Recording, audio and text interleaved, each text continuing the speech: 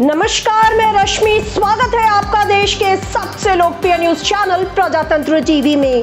कमर तोड़ महँगाई से खेती किसानी घाटे का सौदा साबित हो रही है। शिवनारायण परिहार, उत्तर प्रदेश किसान कांग्रेस के बैनर तले जनपद झांसी के ब्लॉक बंगरा के ग्राम गुजिया में आज विशाल किसान पंचायत हुई, जिसमें समस्याओं को लेकर किसान खूब गरजे। जिम्मेदारों को खरी खोटी सुनाते हुए आंदोलन की चेतावनी दी।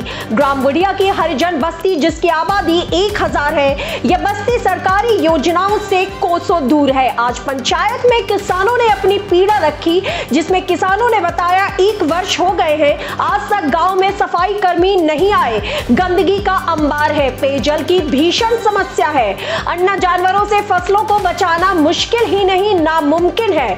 विगत माह पूर्व अतिवृष्टि हुई थी, जिसका मुआवजा आज तक नहीं मिला।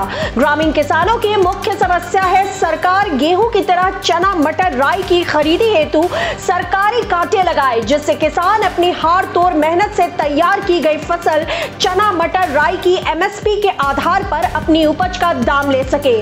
किसानों ने पंचायत में अपनी पीड़ा व्यक्त करते हुए कहा, हमारी उपज के दाम नहीं बढ़ पा रहे हैं। सरकार प्रतिदिन डीजल, पेट्रोल, गैस सिलेंडर के दाम बढ़ा रही है। इससे जीना मुहाल हो चला है। भाई का नाम आपको? कौन गाँव की हो?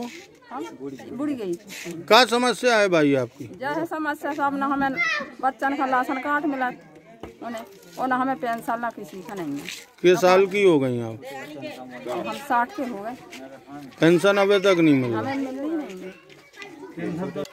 जनपद झांसी का ये ग्राम बुढ़िया ब्लॉक बंगरा।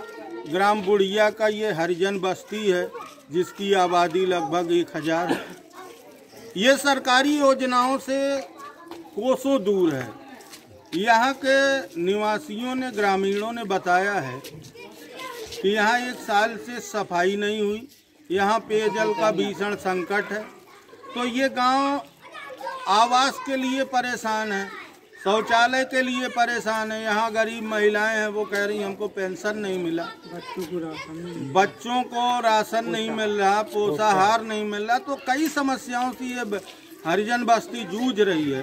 आज यहाँ पर किसान कांग्रेस की पंचायत हुई है जिसमें किसानों ने हमको बताया है। तो कहीं ना कहीं सरकार की योजनाएँ धरातल पर न पहुँचना एक दुखद विषय है। भाई साहब क्या नाम है आपका? टीकाराम हरवार क्या समस्या है? महँगाई की समस्या है कि दिन प्रतिदिन महँगाई बढ़ती जा रही है। सिलेंडर के दाम बढ़ चुके हैं, डीजल, पेट्रोल के दाम बढ़ गए हैं और हमारे गाँव पे जो फ़सल है, वो औने पौने दामों पर बिक रही है और ख़रीदार जो बिचौलिया हैं, वे अपने मनमानी कर रहे हैं। इसलिए ना तो यहाँ खरीद हो रही है कि कहीं पर सरकारी केंद्र पर खरीद की जाए फ़सल का सही उचित दाम मिले तो किसान को समस्या हुई।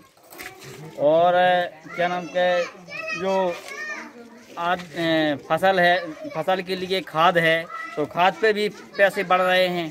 खाद खाद पे भी महंग, महँगाई हो गई है। किसान परेशान है कर्ज में डूब रहा है, आत्महत्याएँ कर रहा है। बहुत सी समस्याएँ हैं किसान के लिए, बच्चों के लिए भी समस्या हो रही है, खाद पानी की उतने होनी है, आज आदमी यहाँ से दिल्ली के लिए भाग रहा है